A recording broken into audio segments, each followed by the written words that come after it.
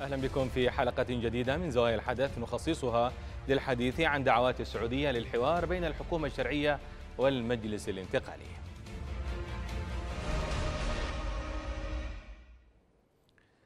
اشترطت الحكومة الشرعية انسحاب ميليشيات المجلس الجنوبي الانتقالي المدعوم إماراتيا من المواقع التي استولت عليها خلال الأيام الماضية في العاصمة المؤقتة عدن جنوب اليمن.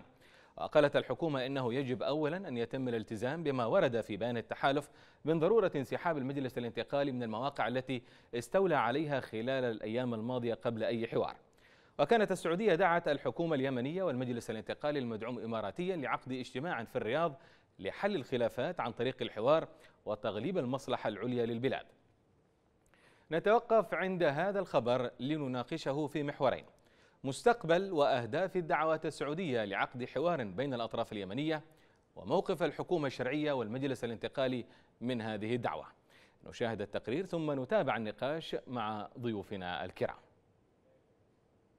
يد تدعم الانقلاب وأخرى تدعو للحوار. هكذا يمكن وصف الجهود السعودية الداعية لبدء حوار في الرياض بين الحكومة الشرعية من جهة والمجلس الانتقالي المدعوم إماراتيا من جهة أخرى.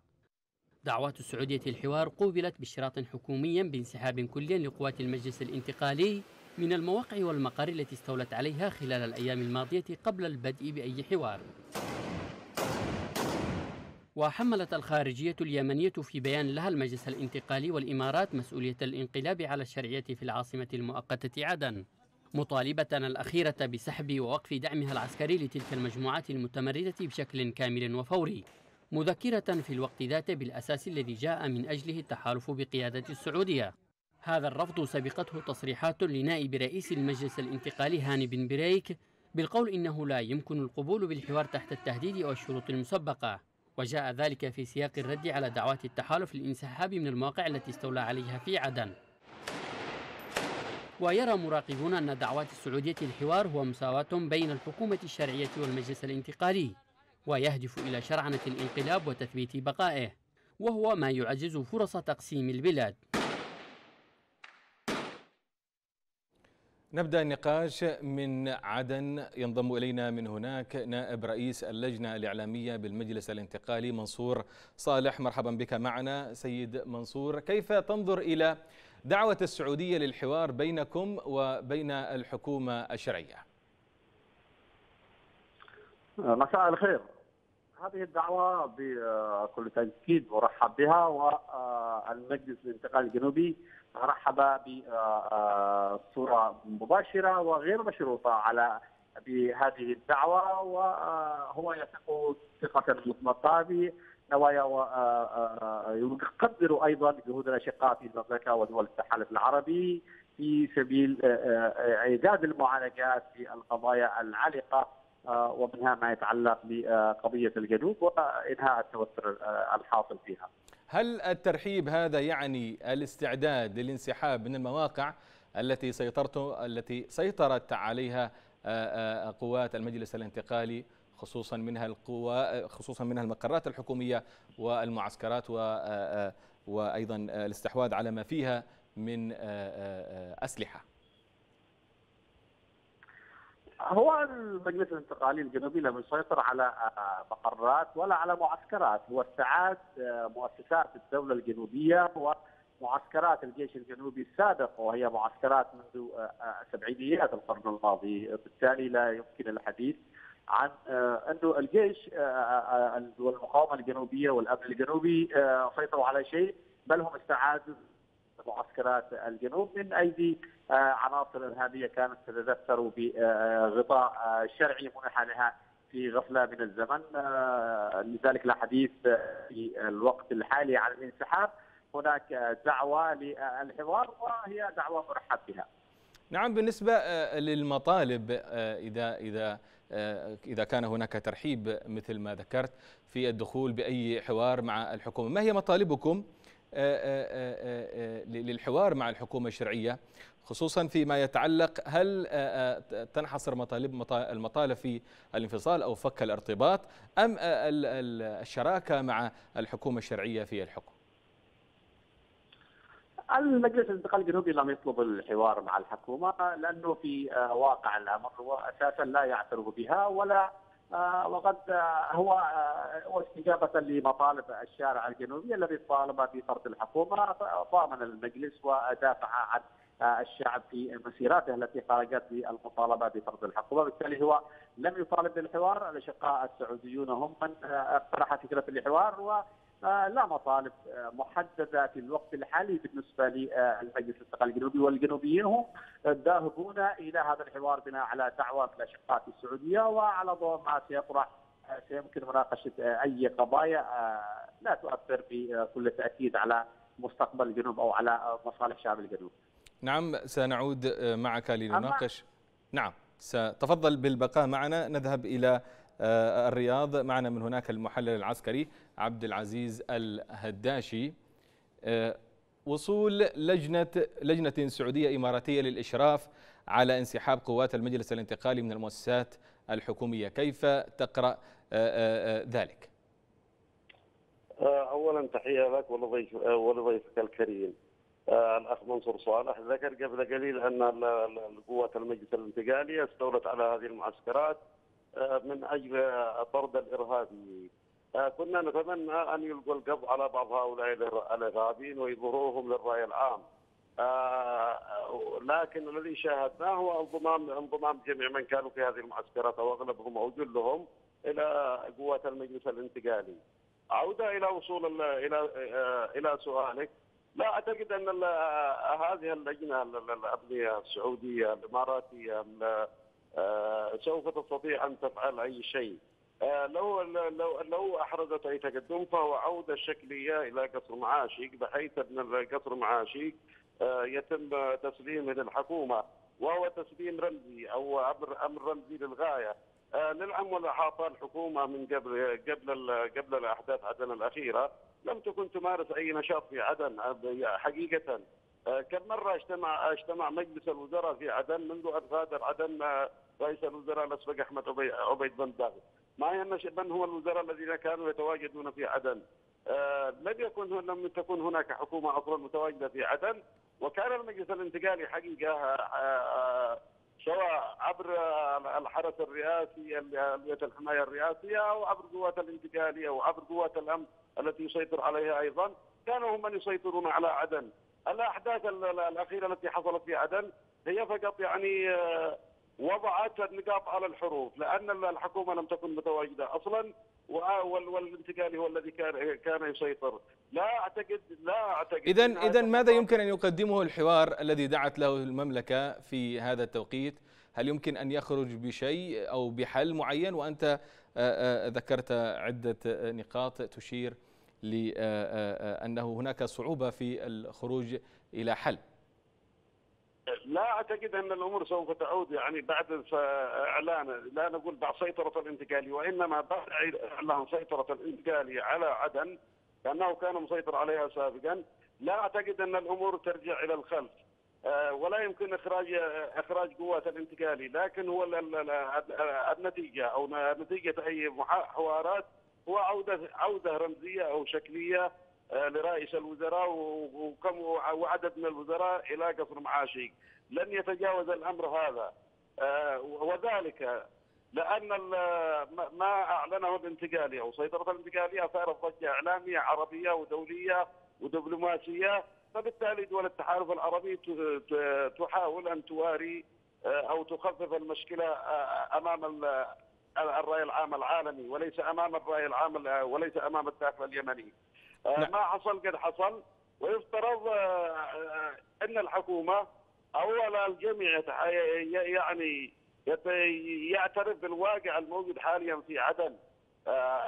القضية إنكار إن الانتقالي مسيطر على عدن أو مطالبته بسحب المقرات حتى لو وجدوا عناصر الحكومة سوف يكونوا تحت حماية الانتقالي نعم. وأعتقد إن وأعتقد إن هذا الأمر يعني هو مجرد نهاية للشرعية. نعم سأعود إليك. نعم سأعود إليك عبد العزيز الهداشي. نذهب إلى ضيفنا منصور صالح نائب رئيس اللجنة الإعلامية بالمجلس الانتقالي. هناك من يتهم الإمارات سيد منصور والسعودية بالوقوف خلف انقلاب عدن. كيف تفسر ذلك؟ آه نعم. اولا أنا آه أنتهز فرصة لضحية أخي آه العميد عبد العزيز الهداشي وحقيقه أنا من المعجبين ومن يكبرون به دائما جرأته وشجاعته في الطرح لكن أحب أن أوضح له طالما وهو رجل يستحق أن دائما أن نعلق على ما يقول وأن نقدر ما يقول بأنه حينما نقول إنه انضمت بعض القيادات أو الكثير من القيادات العسكرية أو أفراد ألوية الحماية الرئاسية أو المؤسسات العسكرية التي كانت موجودة في الجنوب من الجنوب هذا يؤكد بأن حربنا أساسا أو المواجهة أساسا لم تكن مع هذه القوات. نحن قلنا وكررنا دائما من قبل أن تبدأ هذه المواجهات وحينما كانت تشب أوار الحرب إنه آه نحن آه لا نخوض حربا مع أخوتنا في الحماية الرئاسية بل العكس من ذلك الكثير من الاخوان من الحماية الرئاسية قاتلوا إلى جوار آه قوات الجيش والأمن الجنوبي والمقاومة الجنوبية وكذلك أخوتنا في عدد من وحدات الطاقه العسكرية الرابعة، لكن نحن نتحدث فعلا عن اختراق ماذا عن المداهمات والاعتقالات التي شملت قيادات من الالوى الرئاسيه؟ لم يحدث أي عملية مداهمات أو اعتقالات وحتى عمليات التي تحدث عنها الإعلام ووسائل التواصل الاجتماعي نفاها عدد من القادة، نحن كنا في زيارة للوزير علي هتم الغريب وأيضا في زيارة للوزير العناني والعود وكذلك أيضا عدد من القاده العسكريين التابعين للرئيس. هادي كانوا في ضيافه المجلس الانتقالي الجنوبي واكدوا دعمهم في هذا. كذلك القاضي الهتار كان ممن أشير لأنه تعرضت تعرض منزله للنهب والاعتداء وهذا غير صحيح، هناك بعض منازل بعض القادة تعرضت للاعتداء والسلب من قبل من كانوا يؤتمنون عليها، هذا الأمر هذا كل ما في الأمر، لكن الأمور لم تخرج عن إطار مواجهات خاطفه ومحدودة مع عناصر إرهابية معروفة. وحسمت المواجهة وكان الفضل جزء من الفضل في هذه المهمة لإخوتنا في الويه الحمايه الرئاسية الذين كانوا سندا لإخوتهم في قوات المقاومة وكذلك الاخوه في القوات الخاصة وقائدهم قائد فضل باعش الذي كان أول من انضم إلى قوات المقاومة الجنوبية وأيضا اللواء فضل حسن ورئيس أركان عملياته في غير المنطقة العسكرية الرابعة كل هذه الوحدات كان موقفها ايجابيا مما حدث وكانت جوار قيادات شعب الجنوب ومدافعة عنه. نعم منصور صالح نائب رئيس اللجنة الإعلامية بالمجلس الانتقالي. كنت معنا من عدن. شكرا جزيلا لك. بالعودة إلى الرياض المحلل العسكري عبد العزيز الهداشي سيد عبد العزيز الانتقالي كما هناك معلومات يقوم بتسليم المؤسسات الحكومية التي سيطر عليها. لكن الحكومة نفت ذلك. كيف تنظر إلى الوضع في عدن بعد هذه التطورات؟ شوف سواء الانتقالي يسلم المؤسسات ام لم يسلمها، لنفترض أن الانتقالي لم يسلمها. الشرعية عاجزة مكتوفة لن تستطيع أن تعمل شيء. هذا يعني لا يوجد هناك من يجبر الانتقالي على الانسحاب من المؤسسات إلا إذا كان عنده جبر خاطر للتحالف العربي، الشرعية هي اضعف من أن تأخذ هذه المؤسسات بالقوة. الفرضيه الثانية أن المجلس الانتقالي سوف يسلم المؤسسات المدنية بين قوسين وليس المؤسسات العسكرية. هنا تصبح المؤسسات والدولة والحكومة وكل من يتواجد في عدن تحت حماية الانتقالي. أنا من رأيي يعني كرأي شخصي ان أن تتعامل الحكومة والشرعية مع المجلس الانتقالي كأمر واقع وهذا وهذه هذه هي الحقيقة التي التي نهرب منها أن تتعامل معه كأمر كأمر واقع وتسلم اداره إدارة محافظة عدن محافظة عدن بالكامل باراده عدن بكل شيء اللي يديرها ولتبقى يعني قصر معاشي هو يعني قصر حكومة رمزي وثاني حاجة البنك المركزي. بقي البقيه الباقيات يعني هو حقيقة الحكومة لم لم تكن تمارس أي عمل منذ تقريبا من من يناير 2018 لم يكن لها أي عمل موجود في عدن وأغلب الوزراء وأنت تدري وتعرف أن أغلبهم نعم. متوجهين على العواصم ما نعم. بين الرياض أنا نعم. اتمنى أتمنى عدم القفز على الواقع الانتقال لفرض واقع جديد ويجب التعامل مع هذا الواقع أفضل من الصراخ وأفضل من النواح الشرعية هي أعجز من أن تقوم بأي رد فعل. لا نقول رد فعل عسكري لا لا تستطيع أن تتحرك تحرك دبلوماسي فأغلب السفراء السفراء المؤثرين هم موالين بشكل أو بآخر اذا سيد سيد عبد العزيز ما قيمه ما قيمة تحميل الحكومة؟ ما حدث زي ما آآ آآ زي ما تلومها الآن أنت ويلومها كثيرون وهي في الأساس كما يتابع مراقبون أنها تتماهى وتقبل بما يعرضه عليها السعوديون من حوار. آه لا الحكومة أنا سوف أذهب لك إلى مثلين مثلين آخرين يعني أبعد من كذا. قبل فترة أعلن أعلن الكردستان الكردستان بإجماع وهم قومية مستقلة الكرد استفتاء شعبي بحق تقرير المصير أو أو بانفصال كردستان تحركت الحكومة العراقية بضعفها ووقفت على محاولة الانفصال أو استقلال نعم. كردستان نعم. نعم. كتالونيا كتالونيا قام حصل هناك استفتاء في كتالونيا في إسبانيا نشرك نعم أعتذر على مقاطعتك عبد العزيز الهداشي نشرك معنا من الرياض المحلل السعودي سلمان عسكر كيف تنظر إلى دعوة السعودية الأطراف اليمنية للحوار في الرياض بداية. أهلا وسهلا حياك الله عزيزي. مرحبا فيك. والمشاهدين هذه الدعوة ليست بغريبة المملكة العربية السعودية حرصت وتحرص دائما على رابط صدر بين الدول العربية. وما حدث هو ضمن سلسلة طويلة يعني ما حدث في بين الفصائل الفلسطينية أو في جيبوتي أو في السودان سابقا أو في الجزائر. آه، عدد من دول العالم المملكة العربية السعودية وخاصه المجتمع العربي حريصة على عقد هذه اللقاءات أو الدعوات لحل المشكلات الخاصة بين بعض الفصائل أو الأحزاب في الدول العربية وتقريب وجهات النظر. وما حصل من تقديم دعوة لخادم الحرمين للأخوة اليمنيين على الشقاق في اليمن لحضور قمة جدة وتقريب وجهات النظر. هو يعني نعم لكن لكن لكن لكن هناك من يقول كيف يستقيم هذا المنطق؟ آه، وخصوصا أن آه، آه، السعودية تأخرت في مساندة الحكومة حول أحداث عدن. وأيضا هي الآن تقوم بمساواتها مع الانتقاليين والتمرد الذي حصل في عدن. لا المملكه لم تتأخر عزيزي. الأحداث آه، انفجرت قبل عيد الأضحى بايام قليلة جدا. آه، صحيح أن المجلس الانتقالي أو ما يسمى المجلس الانتقالي يخطط من وقت مبكر جدا لمثل هذه الأعمال التي قام بها فجأة في عدن وأخترق الشرعية. وأنا كوجهه نظر شخصية أعتبرها آه، عملية غير شجاعة. أنا أستطيع أن اصفها بالجبانه أو بالعمل الجبان سواء من إيدروس أو من هاني بن بريك أو من تلك الشلة التي معهم، يعني لماذا عندما كانوا يريدون أو يخططون لهذا العمل، لماذا لم يواجهوا الحوثي اولا؟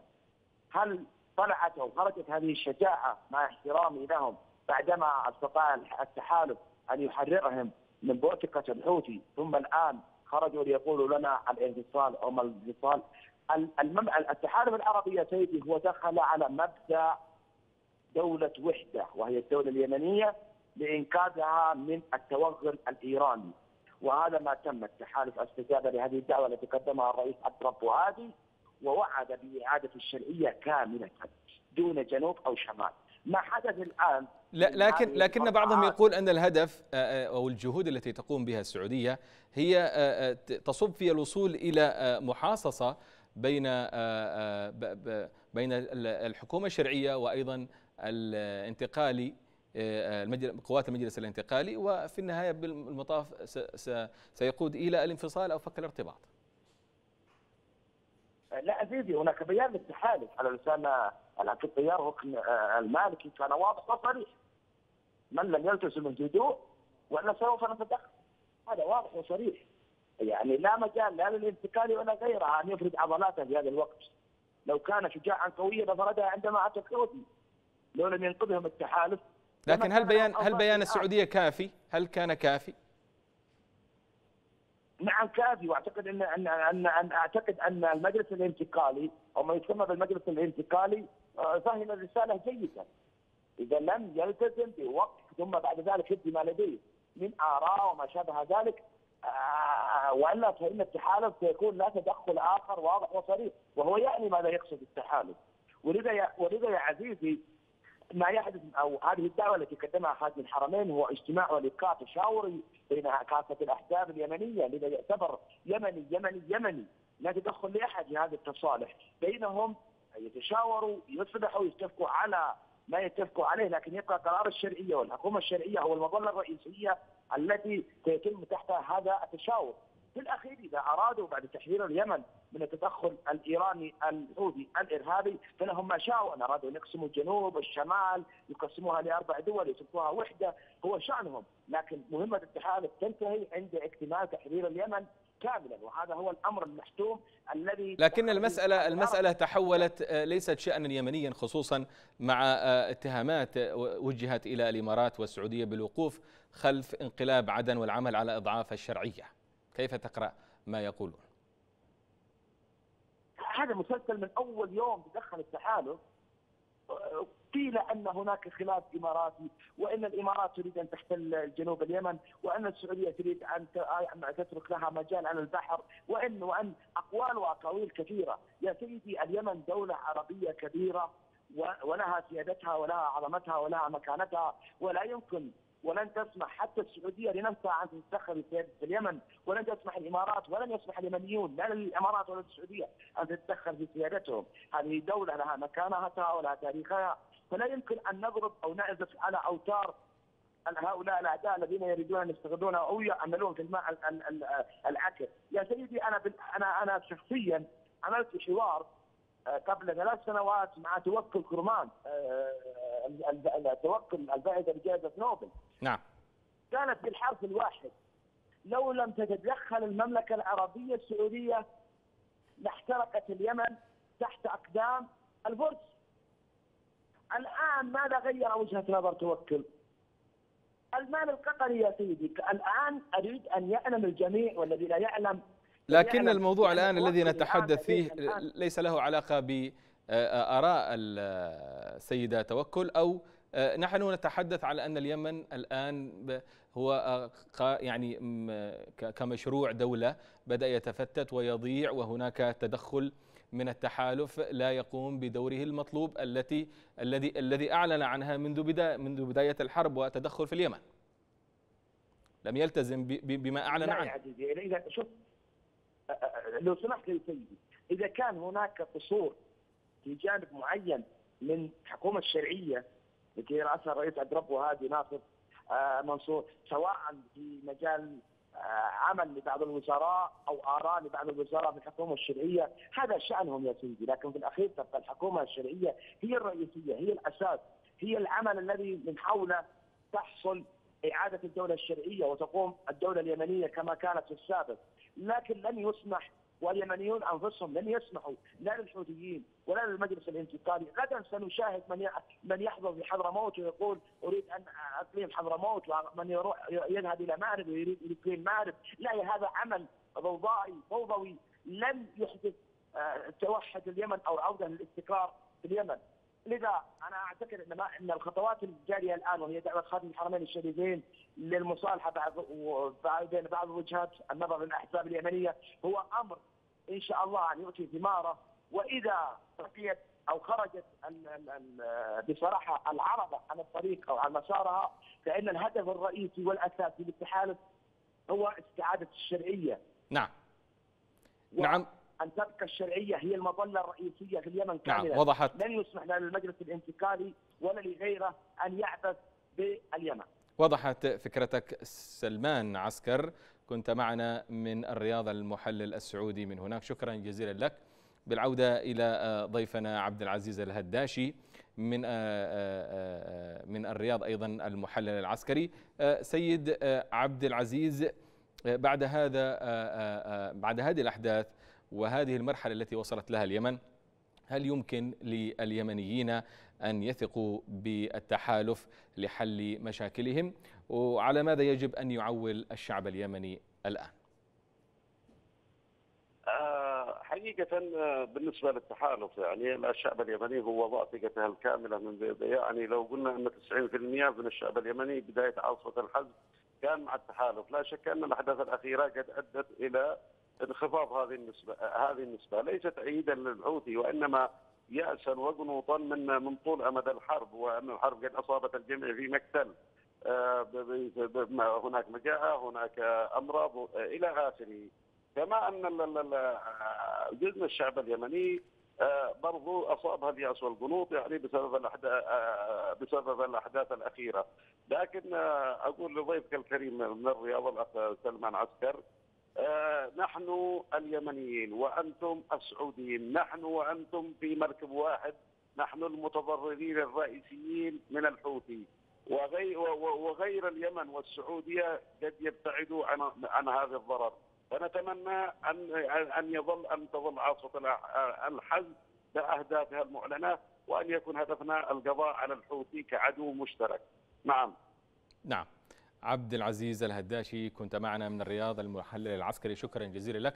وأيضا الشكر موصول لضيوفنا الكرام سلمان عسكر من الرياض أيضا. وأيضا آه، آه، معنا كان منصور صالح نائب رئيس اللجنة الإعلامية بالمجلس الانتقالي. وأيضا الشكر موصول لكم متابعينا الكرام. وإلى اللقاء.